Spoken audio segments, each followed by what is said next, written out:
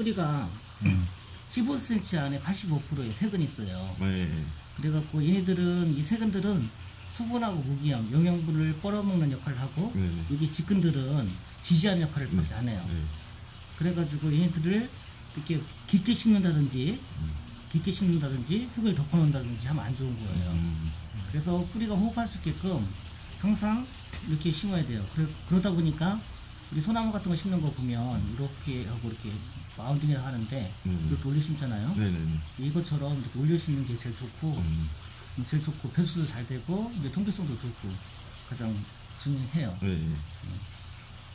3분의 2까지는 묶고 네. 여기다 이렇게 복토 예, 요로 그- 예, 요렇게 방법이에요. 일반인들이 모르니까 네. 3분의 2까지만 묶고 3분의 1을 남겨서 음. 복토시켜라. 맞아요. 예, 그래서 살짝 처음에는 물집 잡고 물 돌리고 그다음에 다시 맞아요. 덮어줘라 이렇게 말씀하시더라고요. 맞아요. 그래 이제 큰 나무 같은 경우들 보면 소나무라든지 아니 베트나무 큰 나무들 심잖아요. 얘들 이렇게 올려 심어도 이 무게, 무게 때문에 가라는 경우도 있어요. 음. 그리고 이제 물집을 아까 이렇게 냈을 경우에는 네. 물집을 이렇게 덮어주는 게 아니라 이거 걷어내야 돼요. 아, 짜리. 예, 그리고 이제 지용을 매는다 하더라도 무게 때문에 가라는 경우도 음. 있거든요. 얘들 그리고 또 어떻게 보면 이게 잔디 심어서 또 복타는 경우도 있고. 그래서 저- 나무는 가장 중요한 게 뿌리가 호흡하게 하고 땅은 이렇게 배수가 잘 돼야 되고 음. 그러다 보니까 그 소나무 같은 경우라든지 큰 나무 같은 경우 유근 것도 묻잖아요. 네, 유근 통기성 네. 그러는 거거든요.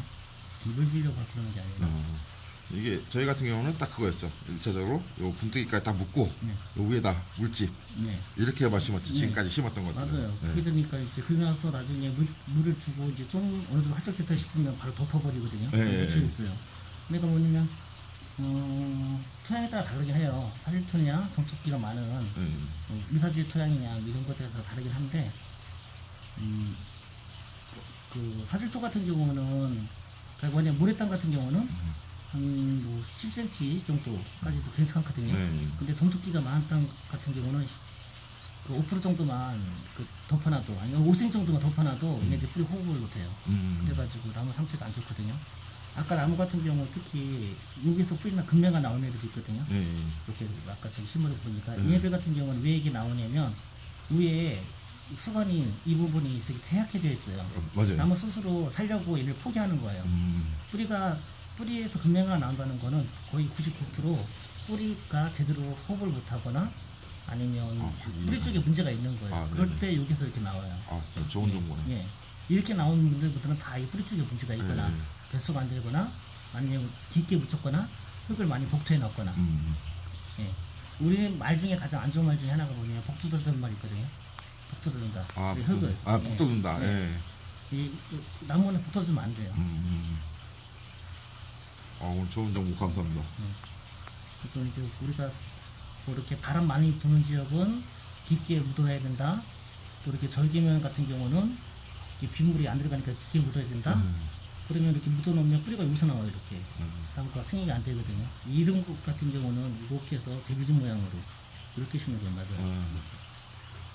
이- 그래 이쪽으로 가기 힘들어도 이렇게, 이렇게 뿌리가 오면서 예, 잘 잡으니까. 네. 아, 이거 딱이네. 네, 바람 많이 부는 지역 같은 경우는 넘어질까봐 걱정이 된다면 음. 기준목을 세워서 뿌리가 활착할 때까지 해주는 게 좋고 기존에 유튜브에 보면 다 이렇게 이렇게 해놓고 심고 음. 여기다 이게 물집 예. 물집 이렇게 이렇게 만들어 그렇게 배웠어요 예전에. 네. 근데 굉장히 잘못된 네. 많아요. 그래서 이- 최근에 본 거는 요만큼 심고 음, 이렇게 흙 돋아놓고 네. 약간 이렇게 맞아요. 네. 음. 음, 오 대표님 말씀대로 음. 딱 그게 맞네. 예, 가장 기본이 뭐냐면 뿌리가 호흡해야 된다 음. 이거거든요. 네. 예. 뿌리가 그 이유를 알기. 네. 물 줄 때는 네. 이렇게 보면은 네. 호수를 안에 깊숙이 이렇게 박아서 막 주던데 네. 이게 맞는 거예요? 마- 이렇게 좋으면 이게 토양에 공급이 있거든요. 음, 그냥 기존 땅하고 음, 이렇게 시클 작업했을 때 음, 이, 이쪽 땅하고 서로가 틀려요. 음, 음. 그러다 보니까 이렇게 물 주면서 얘네들 서로 이렇게 그 물을 빼주는 게 제일 좋죠. 근데 여기서 좀 주의할 게 뭐냐면 너무 열심히 빼다 빼주다 보면 음. 얘네 같은 경우 잎단화가 파괴가 되거든요. 때알구조가 없어져 버려요. 지금 무슨 얘기냐면 모래 같은 경우는 안에 안에 막 내려가고 골재 같은 경우는 그리고 위에 점토 같은 경우에 쌓이거든요. 어, 그러다 보니까 얘네들이 그 피막 같은 거 형성돼 가지고 그 사실 그게 큰 좋은 형태는 아닌데 그렇다고 하더라도 이렇게 물집을 쓸 때 공기를 빼주는 건 좋죠. 그렇죠. 그- 예. 깊게 네. 꽂아가면서 네, 네. 물을 줘라. 주고 특히 이 부분이 지금 주의해야 되거든요. 이 부분이 이 부분 이 아래쪽에 그 물 주다 보면 여기 대부분 이 부분만 이렇게 음. 이렇게 잘 이렇게 해야 돼? 음. 그잘 젖어주고 이쪽은 이렇게 비어 있는 게 있거든요. 네, 안쪽에. 예, 예. 근데 또 나무 심을 때 보면 이렇게 분이 이렇게 견고하게 이렇게 돼 있는 것도 있잖아요. 예를 들어서 이렇게 바같은 고무바 예전에 고무바 지금 지금은 못 깎아나고 그리고 에코밴드 같은 걸 하잖아요. 얘는 안 풀는 게 제일 좋아요. 안 풀고 그러면 불에 견고하게 돼 있으면 이 부분을 이렇게 살짝 돌려주면 물방울이 푹푹 올라오거든요. 아, 살짝 돌려 예, 예. 손목을 돌려주라고. 움직여주면, 예, 움직여주면 깨지지 않게 조심하면서 그러면 잘 빠져요. 잘 빠지고 난 다음에 그리고 이렇게 배수가 잘 되는 타임 같은 경우는 한번 그 덮기 전에 한 번 물 한 번 더 주는 게 좋아요. 음. 그리고 물줄 때는 조금 조금씩 자주 주는 것보다 한 번에 훅 주는 게 좋고, 예. 한훅 주고 그리고 덮기 전에 물 한 번 주고 덮고 이제 이걸 없애줘야 되고 얘네가 만약에 이 넓게 식혀잡을 구덩이 만들었고 한다면 그 배수가 잘 안 되는 지역에서는 이물 웅덩이가 생기거든요. 물 고여가지고 수목이 안 좋을 수 있거든요.